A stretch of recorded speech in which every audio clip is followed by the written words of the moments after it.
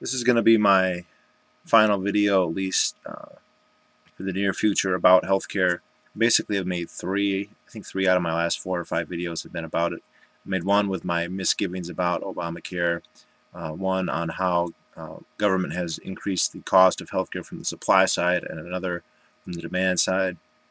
Uh, I admit that I'm no expert in this, that the lists that I offered there are not comprehensive. Uh, except in a general way. So if we say regulations of uh, of medical goods, I didn't actually list them all. I think the only thing I didn't really touch on, at least a little bit, would be tort reform. That's a whole other question. Um, I'm not going to get into that plays a role, although I think it's safe to say that just the things I outlined, we would be talking about a many order order magnitude uh, decline in the price and eventually in the cost, which the two are not the same thing, by the way, uh, of medical service uh, and marginal units, aka for each person to pay for. Um, but there are objections to uh, some of the points I raised. There are basically a uh, couple angles. One is that uh, there's a medical care is a market failure that there are certain aspects of medical coverage that mean that uh, does not follow uh, normal rules, especially vis-a-vis -vis competition. Um, and then the other objection is that uh, maybe I'm right, but uh, it's just better to have everyone covered even if it's less efficient, and so uh, we should accept the government. Now, uh, rather, both the videos I made before were pretty lengthy, and so I didn't really uh, talk about any of the objections, any of the common objections, so I thought I would make a video that goes over at least some of them. Again, this probably won't be comprehensive. Now, uh, one objection I hear an awful lot is, and abroad it came up in the comments that um, healthcare is not optional, and so uh, people cannot shop around. So uh,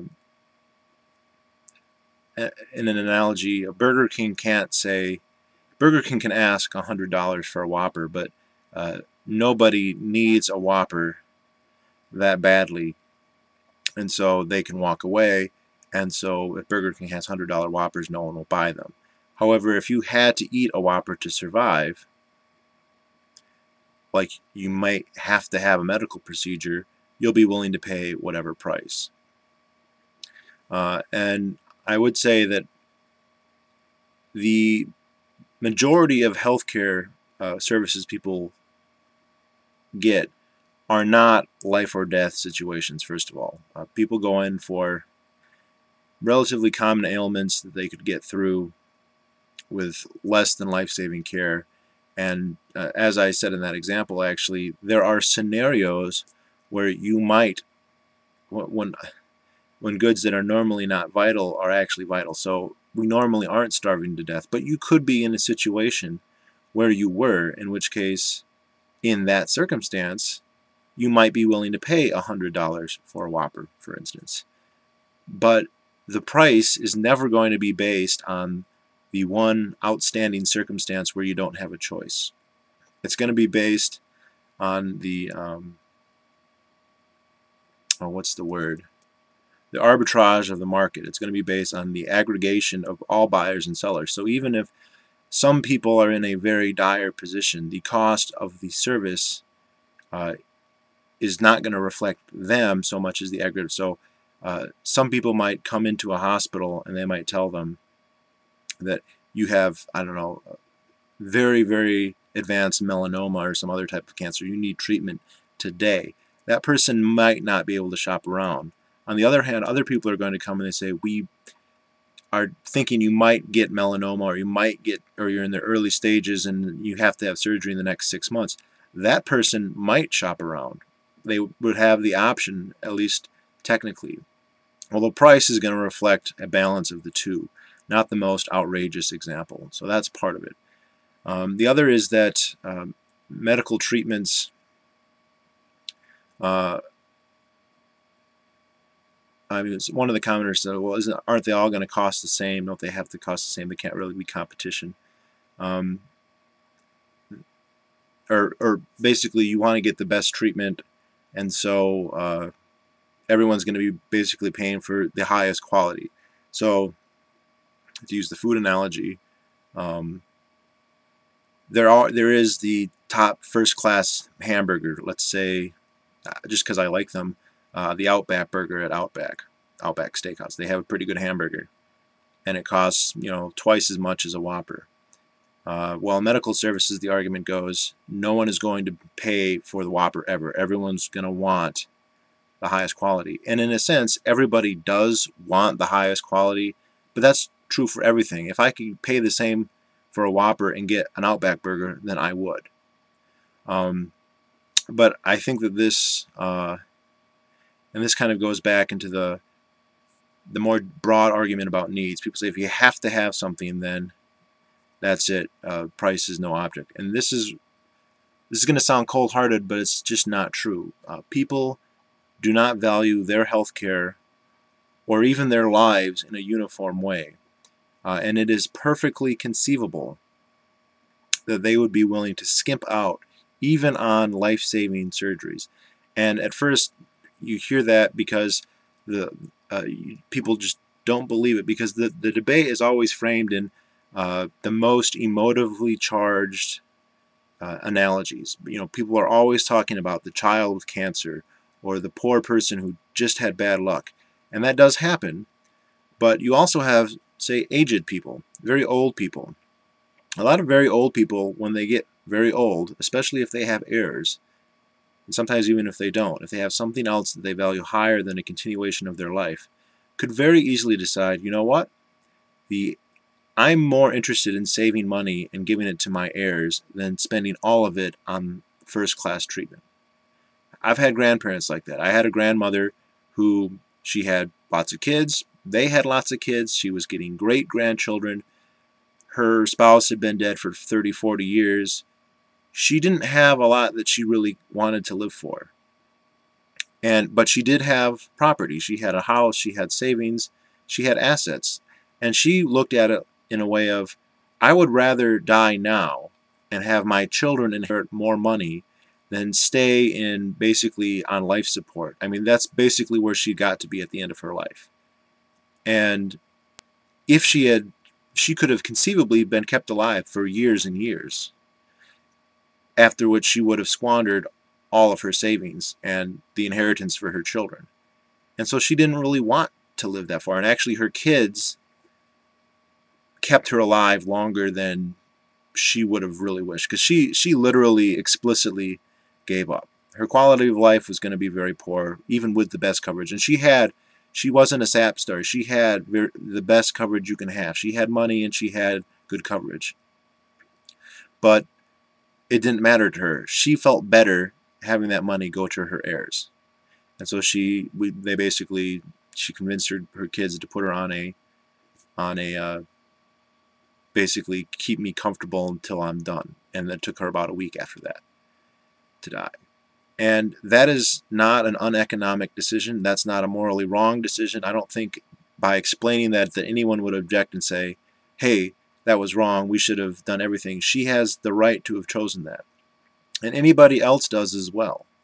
And we could go down the list If I could draw, draw so many examples here uh, if you break a leg or something, you could go in and they say, well, we could give you the most expensive cast that doesn't chafe at the soldier, you know, that uh, is going to be really comfortable and, you know, really articulate, or we could give you, you know, the run-of-the-mill cast and it's going to be 50% less or whatever.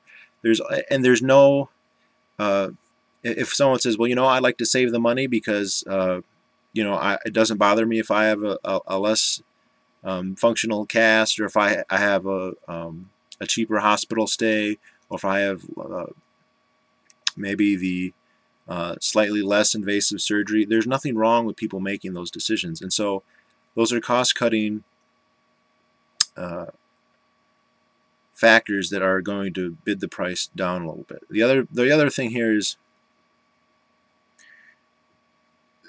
there's still going to be competition because if you have free entry and anyone can, you know, if say, I mean, people say, oh, anyone will want it. So let's let's just have a scenario where you've got one medical provider in a city. And they just say, look, every once in a while there's going to be people who basically want to live. They'll do anything to live. I'm the only one who can give them uh, that service here. So uh, I'm just going to charge through the roof. This is the so-called uh, natural monopoly or geographic monopoly. You know, it's not a big city where there's lots of places. And so even though the market rate for maybe, say, treatment for a heart attack or something might be, I don't know, five ounces of silver, in most places, this guy, this organization, whether it be a doctor or a hospital, might start saying, well, we're going to charge 10 ounces of silver or 20 bitcoins or whatever. Um,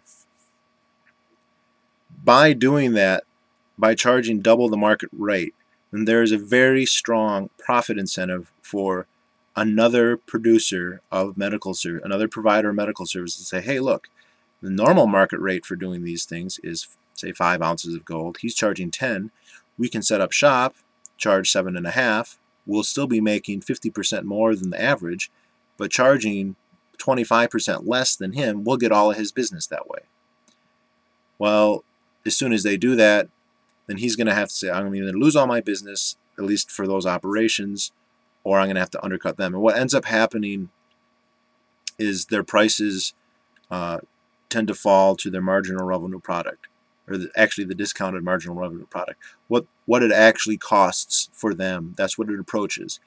And what happens is pr producers basically anticipate this, uh, not because they're forward thinking. It's just how it works that they end up not spiking their prices too high. Now there might be reasons geographically that it is going to be a little bit higher. If you have a hospital on an island and all medicine has to be transported, say, in a plane or on a boat, or if uh, energy production, you know, maybe you're in an area where you're not getting normal grid power and you have to generate your own, and so the hospital has double the hospital bills, yes, the medical treatment will be more expensive because of that.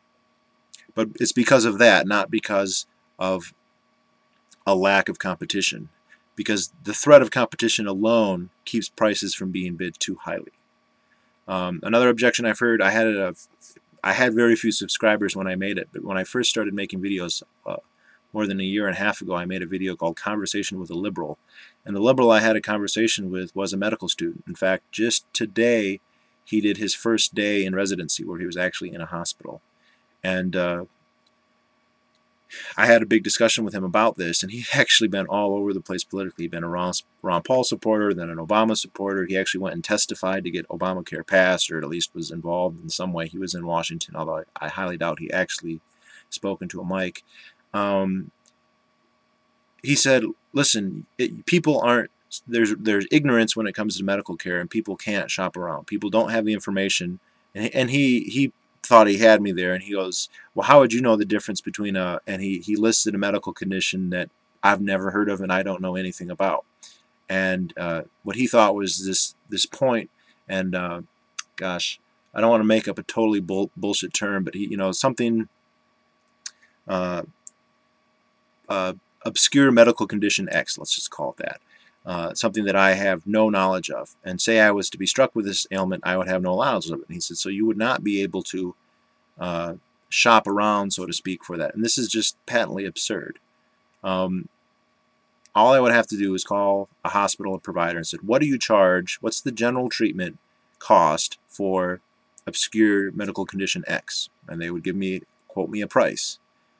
Uh, then I'd call another medical caregiver, whatever doctor, say what is the general, you know, price range for obscure medical condition X, and they give me a different quote because they want my business because it's the free market, bitch, and they need my business to stay in business to make a living. They need me, so I don't need to know anything about the condition or the steps required to, to alleviate it.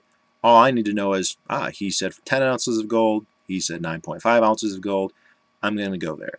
That's all it takes. And uh, in the internet age, this is even easier. It's easy to just to look. Uh, there still would be third-party insurance. I don't think nearly as much, but they'd have an interest in always getting the lowest bid, um, the cheapest provider. And people say cheap, they're cutting out on services. Now that just you you can't cut it so low that you're not actually giving the service. Uh, so uh, you don't have to be, and, and, and this argument really applies to everything, because then I asked this liberal, like, well, do you know how to program a computer? Do you know how to build a computer? Do you know how to fix a car engine? And his answer to all that is no. And I said, well, are you unable to shop around for those items? No, you don't need to know. This what this this argument really, and this is true with a couple of the naysayers about healthcare. Uh, they basically stem from uh, an ignorance of the division of labor and a kind of a, uh, a phobia of not understanding everything. It's not necessary. I mean, he, you don't have to know how to build a car to know who's charging too much or which places you're getting better services. Um, another objection I hear a lot is that the equipment is just too expensive. Uh, this is silly. The capital investment in just about every industry that we use at some uh, layer or some level of, of uh, production is immense. I work in the oil industry. Oil rigs are fucking expensive. I don't know how much they cost to buy a new one. Uh, I think it's probably in the millions of dollars, more expensive than any single piece of medical equipment you ever see. Their operating costs, uh, just when when nothing breaks, when everything runs fine, is on land on cheap oil rigs that are the lowest end. You're talking fifty to a hundred thousand dollars. On more expensive offshore ones, you're talking a million and a half dollars a day. Uh, just in daily operating costs, if you have an accident or a problem, that can easily be times two or three. Uh, so it's enormously expensive. And you talk about the refining and the distilling and the transit, it's enormously expensive. A Mack truck costs a quarter of a million dollars, and an oil rig relies on dozens and dozens of Mack trucks every single day just to drill the well. So when you go and buy a gallon of gas, it should cost thousands of dollars, right? A gallon. No, it costs what 3.95, and it's that's mostly from inflation. If we were going by silver standard, it'd still be a dime. Um, it's really after you adjust for inflation, the price is pretty cheap and has stayed pretty, pretty good through most of uh, of history. So if it's just expensive equipment, then that would be super expensive. But even most restaurants just work. You know, I worked at a Burger King for a long time, and just some of the the equipment in there is twenty thousand dollars. Like the broiler, the broiled meat, twenty thousand dollars. The deep fryers. I worked at a Krispy Kreme too. I have a giant, a giant donut machine. It's my job to make donuts. I'd make 270 dozen an hour for 12 hours. That machine cost a quarter of a million dollars. How much does a Krispy Kreme donut cost? It's free. They give you one free one just for coming in. And when they sell them, they're like 30 cents a donut. Okay, so or you want to talk about, well, it's the doctors and all the skill. Well, there's high skill in oil, there's high skill basically at some level of production everywhere because somewhere there's an R&D department that's trying to figure all that stuff out.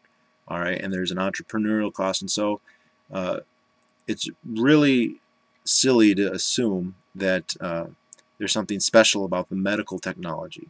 Uh, technology is becoming more advanced everywhere, and computers are making everything cheaper, not more expensive. So uh, the idea that it's a growth in the advancement of medical care is what's driving up the cost is just silly. And I don't know the numbers, but there are certain medical fields that are not subsidized by the government and that are typically not covered by insurance. And so most of the demand and supply uh, uh, aberrations that I mentioned before don't apply. And in those fields, the price keeps coming down. That would be most plastic surgeries, most cosmetic surgeries, and like LASIK eye surgery. And I think John Stossel did a segment once where he interviewed a guy who ran um, a laser eye surgery place, and that place is just it goes down and down in pri price. And it used to be, you know, the cliche was if you wanted to get breast implants or if you wanted to get faceless, and that's I'm kind of that's not my thing to like those things, but those are products people want to buy. It used to be in the past that you had to be a celebrity to even afford that kind of stuff. And now regular people are going in and getting it. It's not cheap, but it's affordable if people want to decide to do that. Uh, should the day ever come when it gets included in Obamacare, that won't be the case any longer. So, uh, That's one objection. Another one, this is a more general socialist one. I don't think it works for most Americans, but um, there's a kind of a view that uh, anything with profit, that profit makes things cost more. That basically things should cost X, and then by adding profit on top of that, then it's going to cost more. But when you get into the, the fact that profit is what allocates capital and labor, uh, then this is kind of a silly argument here. I mean, I always like to ask people who start bitching about profit, uh, okay, if I buy, if you have, say, farmland, uh, say you have 100 acres farmland, and I give you, mm, let's just say $100,000 for it. I give you $100,000, you give me the farmland. Who profited? Um, if you want to go strictly on who got you know, finan a, a monetary gain, then the person who sold the land is the only one who profited. But it was an exchange that was mutual, and so they both gained.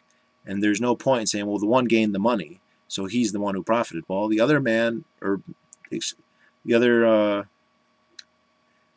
partner in the transaction, obviously valued the land, the the money, or the land more than the money. Otherwise, they wouldn't have made the exchange. So it's it's kind of meaningless to, to talk about that. In medical care, if people are willing to pay $10,000 for heart surgery, or rather two ounces of gold, and they get the heart surgery, then they've valued the heart surgery more than the gold, and so they gained, and so did. I mean, I, this is a whole other video, just profit itself. I mean, but people in government work for profit. They all take salaries. Uh, none of them do it for free, and if they did, it's because they enjoy what's happening, so they're getting psychic profit, which is not is not an arbitrary distinction at all between regular. So uh, it doesn't.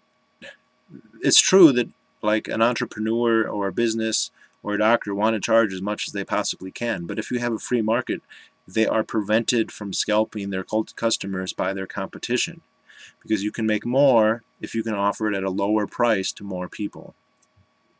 Uh, this is just, and this is something that people realize with everything else or most other things. It happened in the railroads, it happens with cars.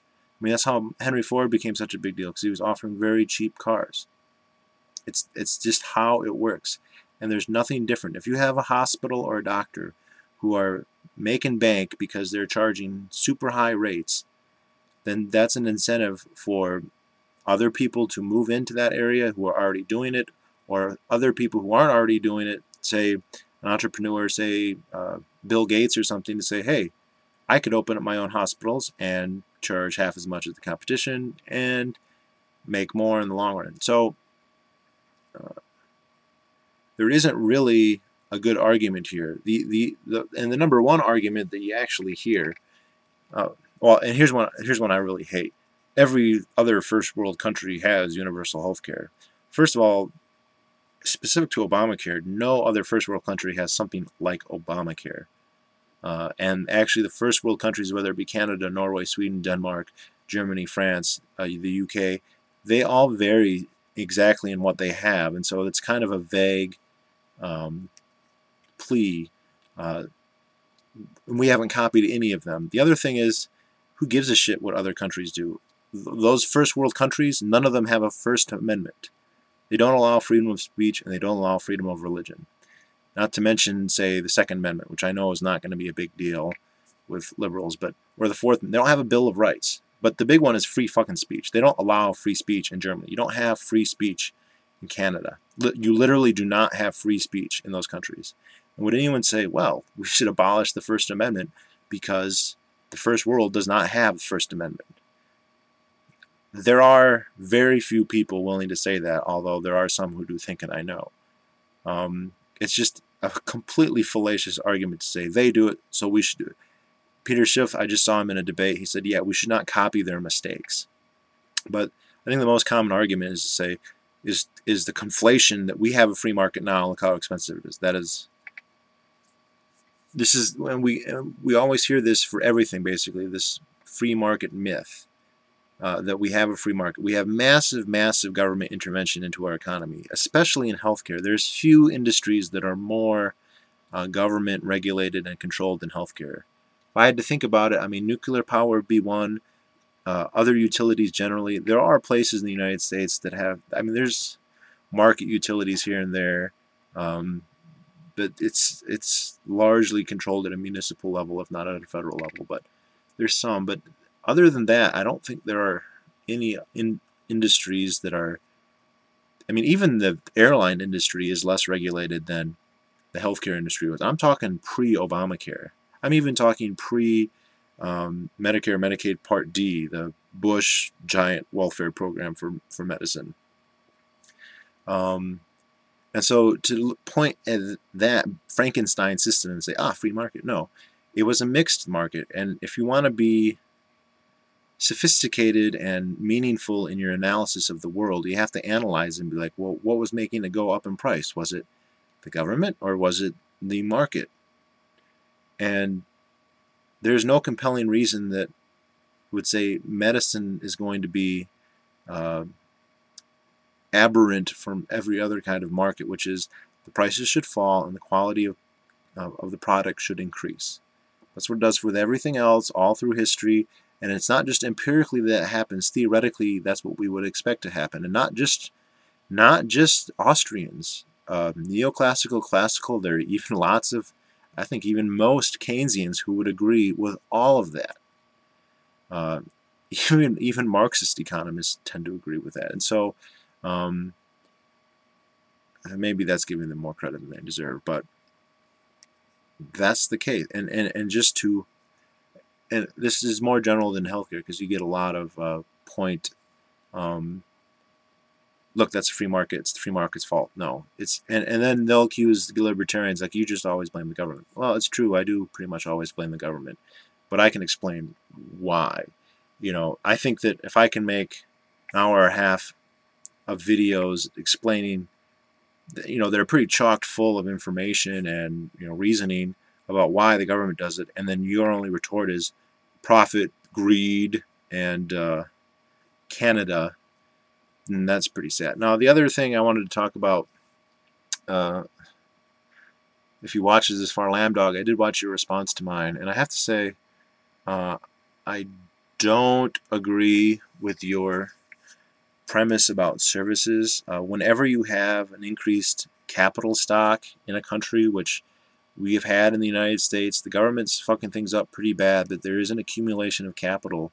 You're going to see a shift from primary production into services, and that's not bad. Uh, analogous to this, um, if we look at like agriculture, uh, 200 years ago, what 85, 90% of everybody was directly working on a farm, directly farming, you know, reaping and sowing crops and, and harvesting domesticated animals. And over the years, we developed capital. You know, the first capital you would have had would have been shovels and hoes and scythes and maybe a plow, and then eventually getting replaced by rudimentary tractors and fertilizers and rototillers. And next thing you know, uh, we've got what one and a half or two percent of the population producing all the food for everybody and exporting about a trillion dollars worth a year in the United States.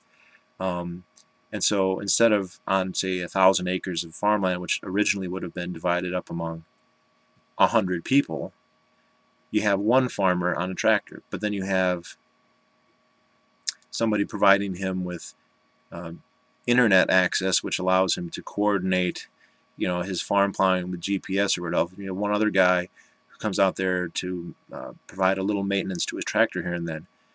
Those three people, two of them are service and one of them is the actual farmer, and it's not a bad thing. Those two ancillary guys aren't less valuable. Uh, we still need people to make the capital all run. Um, you know, I like I work in oil. It used to be oil was drilled like by hand, people with shovels, you know, and the drills got better and better, and the number of people required to make the same amount of oil well shrank and shrank.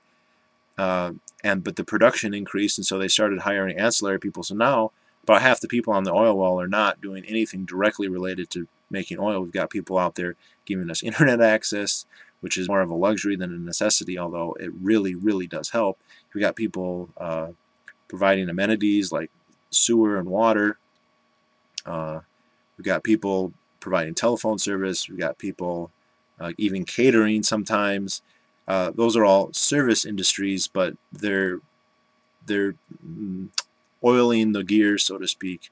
And I'm just using that as an example. You see that everywhere. Whenever you have more capital intensive uh, industry, which is what we have in the United States, you know the reason Amer the reason Americans are much more productive and have higher wages than say Ethiopians isn't because Americans work harder because subsistence farmers work pretty much harder than anybody.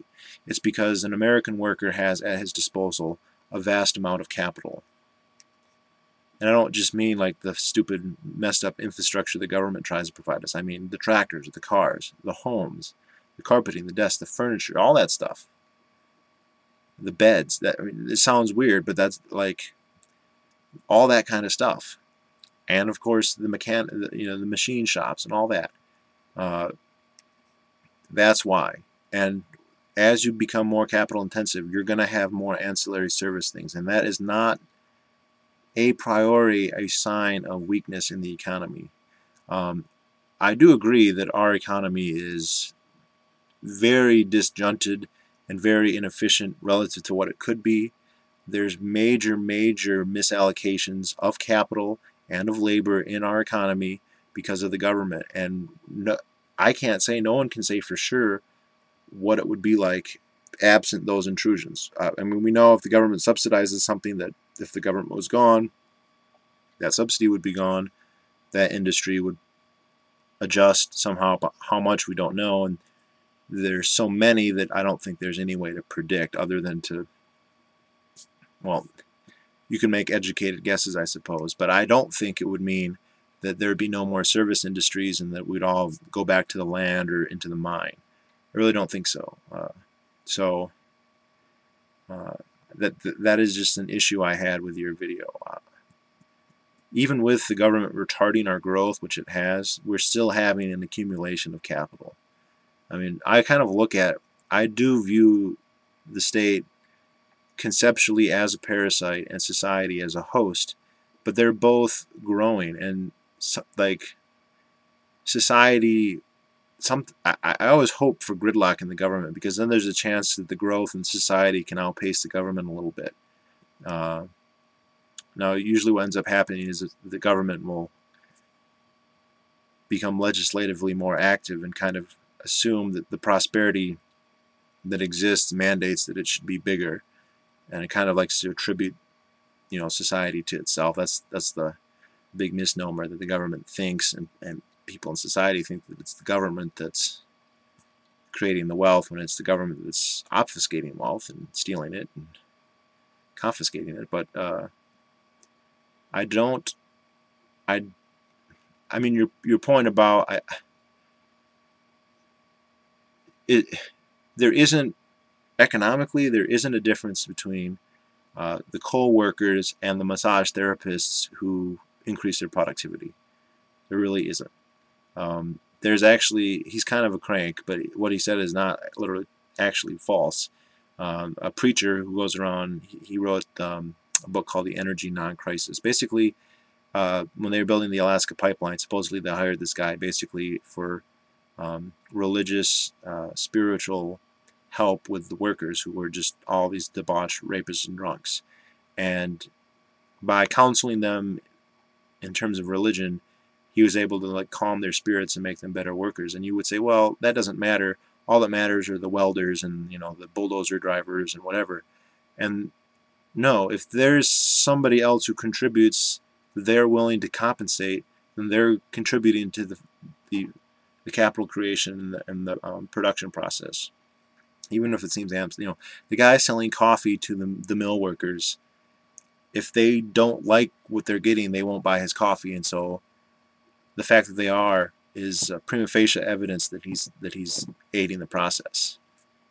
So uh, I don't agree if you ever actually watch the end of this video um, with your characterization. uh, at least in general, because I, I, don't think there's really a distinction there. Uh, we are having our industries hampered by the government, mostly by regulations. I mean, that's the number one thing. Regulations are really worse than taxes. Taxes are like a weight on you. They slow you down, and on the margins, they kill you. So the, the weakest corporations are going to go. Um, regulations are like manacles. Uh, they're just as heavy as weights, but they chain you and they bind you. They restrict your movement in addition to be, you know being a weight. And it's that's it's just that much worse. And that's what's really hurting us in terms of our competition with other countries. And I don't like like I'm a free trader. Uh, you know, I, I I hate to be drawn into the China U.S. thing, but our our hands are really tied by the government and you know agorists whatever blah blah blah if you have you can get around the government if you don't have physical a physical like factory or property but any industry that requires you to be stationary in that way means you basically have to confront the government and you have to operate on its terms or be destroyed and that is a huge disadvantage and liability to us when we had say the end of the 19th century when the government was literally a thousand times less intrusive, literally a thousand times less intrusive when it came when it comes to regulations. Uh, that's when we went from an agrarian society, from a colonial edge of the world, no infrastructure society, to the richest society ever in the history of the world by several orders of magnitude. That's what happened. And other countries have kind of started to get a little bit into the free trade, but not as much as we had been previously. And uh, as the state has grown, it's having less to feast on, and we're getting to the point where I, I don't know how much more growth is really possible. I think in the last four or five years, we've kind of reached that point where it's not, and we're having a net decay, a net destruction of wealth. Something we haven't seen since World War II and World War One except those were clearly temporary situations. Uh, we're not in a temporary situation. So, uh, all right, 40 minutes is kind of long, but uh, that's it.